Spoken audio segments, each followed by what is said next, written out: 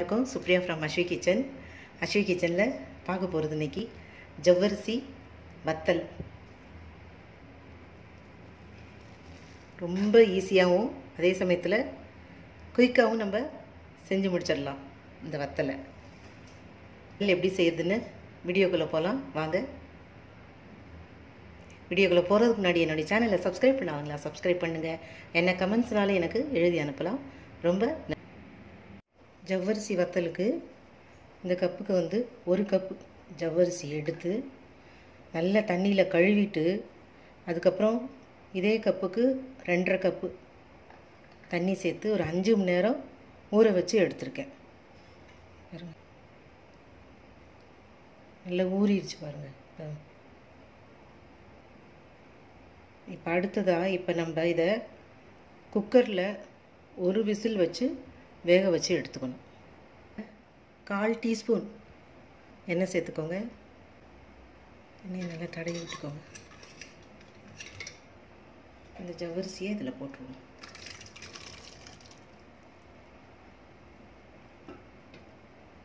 இதே கப்புக்கு மூணு கப்பு தண்ணி. ரெண்டரை கப்பு இல்லை மூணு கப்பு தண்ணி சேர்த்துக்கோங்க.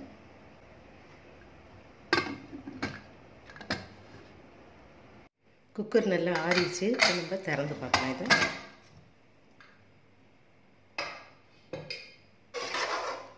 இப்போ ஒரு மிக்ஸி ஜாரில் இதை போட்டு நல்ல பேஸ்ட்டாக அரைச்சி எடுத்துக்கலாம்.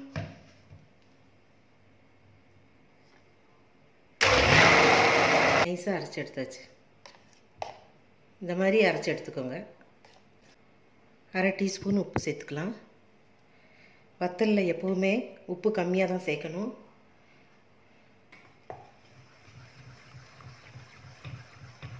தண்ணி தண்ணி சேர்த்துக்கோங்க ஒரே ஒரு டேபிள் ஸ்பூன்.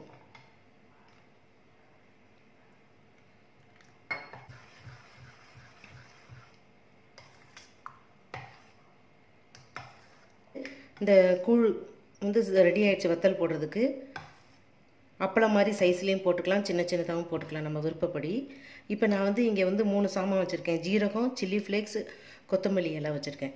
இந்த மூணையும் மிக்ஸ் பண்ணியும் நீங்கள் வத்தல் போடலாம் பிளெயினாக போடலாம் பிளெயினாக போடலாம். வெறும் ஒரு பிளாஸ்டிக் ஷீட் வச்சுக்கோங்க. எண்ணெய் தடவலை நான்? ஏன்னா எண்ணெய் தடவிட்டு போட்டோம்னா வத்தல் வந்து ரொம்ப நாள் இருக்காது. ஒரு மாதிரி ஸ்மெல் வர ஆரம்பிச்சிடும் இதில் வந்து நான் ஒரே ஒரே அளவு தான் இருக்கணும்.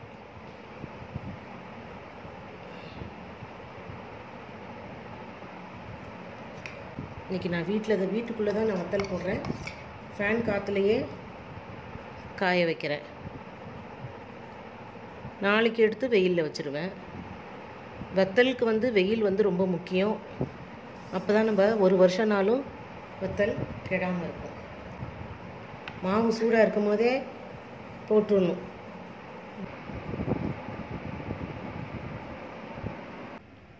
வத்தல் வெயிலில் வச்சு எடுத்தாச்சு. நல்லாவே காஞ்சிருச்சு. பாருங்கள் பாருங்க.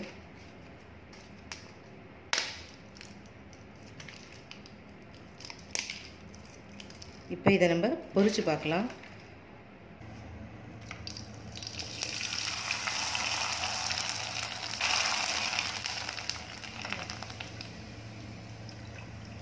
சில்லி ஃப்ளேக்ஸ் போட்டு ஃப்ளேவர் பாருங்கள்